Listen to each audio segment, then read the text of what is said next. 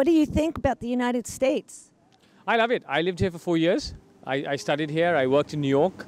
Um, so despite the fact that I live so far away, I, I love coming back here. Uh, there, there's a vibe to, to the US that's fantastic.